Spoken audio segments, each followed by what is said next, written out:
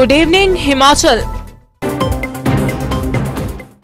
उत्तराखंड के चमोली में लापता प्रदेश के युवकों पर हिमाचल के प्रशासन की भी नज़र है। चमोली में रेस्क्यू ऑपरेशन के दौरान एसडीएम पौंटा साहिब मौके पर है। वह सरकार की तरफ़ से लापता लोगों के परिजनों को यहाँ हर संभव सहायता पहुँचाने में जुटे हैं। SDM LR Varma Rishi Ganga project में रविवार को पहुँचे। यहाँ अब तक प्रदेश के नौ लोग लापता हुए हैं। वहीं बताया जा रहा है कि रविवार को पालमपुर के युवक का शव बरामद किया गया। अब उसे हिमाचल लाने की तैयारी की जा रही है। बाकी लापता लोगों की तलाश के लिए रेस्क्यू ऑपरेशन जारी है। आ, हम यहाँ पर हिमाचल प्रदेश सरकार के निर्देशानुसार घटनास्थल पर ऋषिगंगा प्रोजेक्ट में खड़े हैं। यहाँ पर सर्च ऑपरेशन लगातार जारी है और हमें उम्मीद है कि हमारे जो लोग इसमें दबे हैं उन्हें जल्द निकाल दिया जाएगा। हिमाचल से आने वाले जो भी लोग हैं जो अपने परिजनों की तलाश में आना चाहते हैं वो कृपया हमसे संपर्क करें। हमें अ, सरकार के निर्देशों द्वारा यहाँ स्थापित किया गया है और अ, उनके आने की जो भी लोग आएँगे उनके रहने की और उनके खाने पीने की हमने पूर्ण रूप से व्यवस्था कर रखी है। और हमारे नंबर पर जिसे आप कर सकते हैं, nine four one eight zero six three triple seven पर कभी भी। आदर्श मुख्यमंत्री बॉयज़ स्कूल बिलासपुर में सोमवार को उच्च शिक्षा विभाग द्वारा समीक्षा सभा का आयोजन किया गया। इसकी अध्यक्षता उच्च शिक्षा उप निदेशक बिलासपुर राजकुमार शर्मा ने की। सभा में जिला के एजुकेशनल ब्लॉक के तहत सदर खंड के सभी प्रधानाचार्य व मुख्याध्यापकों ने भाग लिया। इस दौरान स्कूल की विभिन्न समस्याओं को निपटाने के लिए समीक्षा की गई।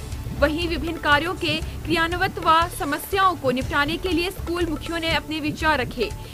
शिक्षा उप निदेशक राजकुमार शर्मा ने बताया कि इससे पहले राजकीय वरिष्ठ माध्यमिक पाठशाला सवाहन, डंगार, झंडुता घुमारवी में समीक्षा सभाएँ आयोजित की जा चुकी है।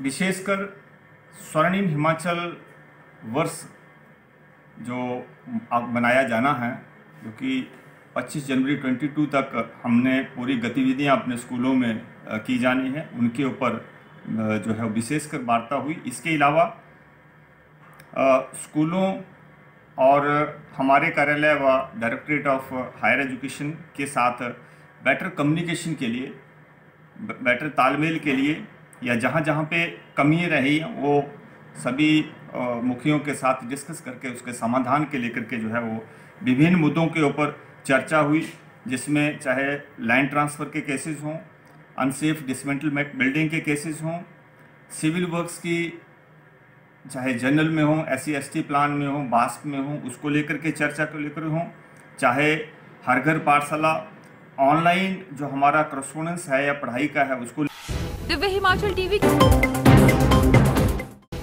नालागढ़ उपमंडल के हांडाखुंडी में बनी काउ सेंचुरी का मुख्यमंत्री जयराम ठाकुर 28 फरवरी को विधिवत रूप से लोकार्पण करेंगे। इसको लेकर मिनी सचिवालय सभागार नालागढ़ में बैठक आयोजित की गई। गौ सेवा आयोग के उपाध्यक्ष अशोक शर्मा ने बताया कि जल्द ही सोलन को बेसहारा गौवंश मुक्त जिला घोषित कर दिया जाएगा। उन्होंने कहा कि गौवंश के हित के लिए सरकार व आयोग पूरी तरह गंभीर है। ये वैसे तो बैठक हमारी हर महीने रहती है। लेकिन आज स्पेशल बैठक थी कि माननीय मुख्यमंत्री जी 28 तारीख को हांडा कुंडी गौ सेंचुरी का उद्घाटन करने आ रहे हैं। और उसी दिन डिस्ट्रिक्ट सोलन को स्ट्रे कैटल फ्री बेसहारा गोवंश जो सड़कों पे घूम रहा है उसको सहारा मिले और कोई भी गोवंश सड़कों पे ना रहे उस दिन माननीय मुख्यमंत्री जी ये भी इस जिला को एक सौगात देंगे कि हमारा जिला जो है, वो स्ट्रे कैटल फ्री हो गया है। जो गौशालाओं की समस्या, किसी की पानी की है, बिजली की है, कोई और भी समस्या है तो वो भी आज तुरंत मौके पे सब निपटारा हो गया। कुछ लोगों के, ज़मीनों के इशू हैं, वो थोड़ा लंबा चलेगा आ रहे हैं, पटवारी नहीं थे तो अजीम साहब ने बोला है कि मैं बुला के इधर उनके पेपर बुला के एन के लिए, ज़मीनें जाने हैं ट्रांसफ़र के लिए, वो जाएँगे। ठीक थैंक यू कुल्लू जिला में सोमवार से छठी व सातवीं की कक्षा भी शुरू हो गई है। स्कूल शुरू होने से छोटे बच्चे काफ़ी उत्साहित नज़र आए। यहाँ हर कक्षा के लिए लंच ब्रेक का अलग अलग समय निर्धारित किया गया है। साथ ही विद्यार्थियों के स्कूलों में आने और जाने का समय भी अलग रहेगा। इसमें 10 से 15 मिनट का अंतर रहेगा। छात्रों की संख्या के अनुसार स्कूल प्रबंधन ने माइक्रो प्लान तैयार किया है।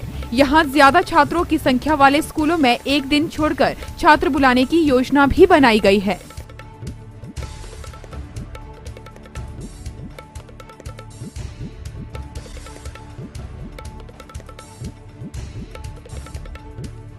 स्कूल पाँचवीं, आठवीं, एट से लेकर प्लस टू तक एक तारीख से खुल गए थे।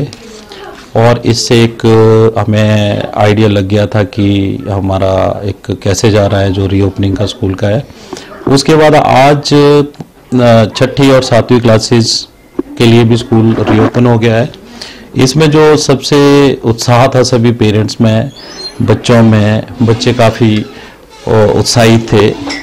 और बहुत खुश थे जब वो आज स्कूल आए। इवन पेरेंट्स भी बहुत खुश थे, क्योंकि खुश होना भी एक स्वाभाविक था, क्योंकि इतने टाइम के बाद जब बच्चा स्कूल आया और उसके बिल्कुल एक नया सा फील हो रहा था। और पेरेंट्स का कहना है कि इतने टाइम में बच्चों का यूनिफॉर्म इवन जो यूज़ ही नहीं हुआ था, कोई शॉर्ट हो गया, छोटा हो गया, किसी के मतलब जो भी साइज़ कम कम हो गए उसके। और साथ में जहाँ तक तैयारियों की बात है, जैसे ही हमने कोरोना से, क्या नाम इसमें हम बहुत ही अच्छे से एक्सपीरियंस्ड हो चुके हैं कि हमें प्रॉपर सैनिटाइज मास्क और दूसरी सारी चीज़ें इसमें हम सावधानी बरत बरत रहे हैं सारी इसमें। और जहाँ तक पढ़ाई की बात है, पढ़ाई हमने ऑनलाइन में भी रुकने नहीं दी। जैसे ही हमारा ऑनलाइन के दौरान पढ़ाई हुआ लॉकडाउन के दौरान। अब जैसे बच्चा स्कूल आ रहा है और हम अ, उसको रिवाइज करने का हमारे पास एक बहुत अच्छा टाइम मिल रहा है और बहुत अच्छे से रिवाइज भी हो जाएगा। जो राजगढ़ क्षेत्र के बागवानों को पलम की नई नई किस्म की विश्वसनीय खेती करने में अब कोई समस्या नहीं होगी। इसके लिए राजगढ़ में पलम उत्पादक संघ का गठन करने के बाद पहले जागरूकता शिविर का आयोजन लोक निर्माण विश्राम गृह में किया गया। शिविर के संघ के फाउंडर सदस्य दीपक सिंघा व नॉन यूनिवर्सिटी से retired doctor J S Chandel विशेष रूप से उपस्थित रहे। पलम उत्पादक संघ के राजगढ़ यूनिट के अध्यक्ष सनम चोपड़ा ने बताया कि विशेषज्ञ द्वारा पलम की खेती में आधुनिक तकनीक, किस्मों व रूट स्टॉक लाने पर चर्चा की गई। शिविर में राजगढ़ क्षेत्र के 60 से अधिक प्रगतिशील बागवानों ने भी भाग लिया। मेरा नाम दीपक सिंघा है। मैं प्लम फोरम का फाउंडर मेंबर हूँ और आज सनम चोपड़ा जो यहाँ के